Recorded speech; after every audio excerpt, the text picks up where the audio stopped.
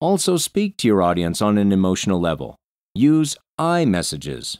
For example, don't say, it would be better that, but formulate, I think it would be better that. This shows the audience that you stand behind your messages. Build highlights into your presentation. Make the topic exciting, increase the tension, then follow up with the resolution, the aha moment. Formulate, and can you imagine what the solution to this problem is? Then follows the information, the solution, what matters. If the listener can literally experience your train of thought in this way, he will follow you enthusiastically. Then you don't give boredom a chance. Provide practical examples and do not stop at theoretical explanations.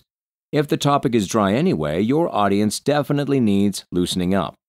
Practical examples also make it easier for the audience to implement.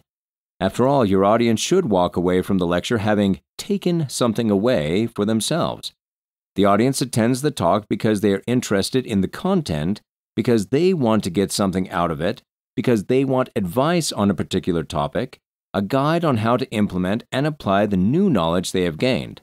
Your audience wants to benefit from you. You can also involve the audience in the presentation. Address the audience directly.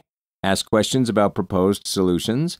If you work out the solution together with the audience at suitable points, the aha effect will be even stronger. The audience is actively thinking along. This tool can also be used when you notice that a certain fatigue is setting in. Make your presentation lively. As part of your preparation, you can practice reading a text aloud to yourself or another person. You can also record yourself doing this. Try to change the volume, tempo, and tonality. Use pauses selectively.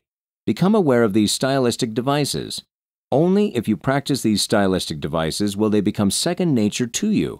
Then your speech will have the right effect on your listeners.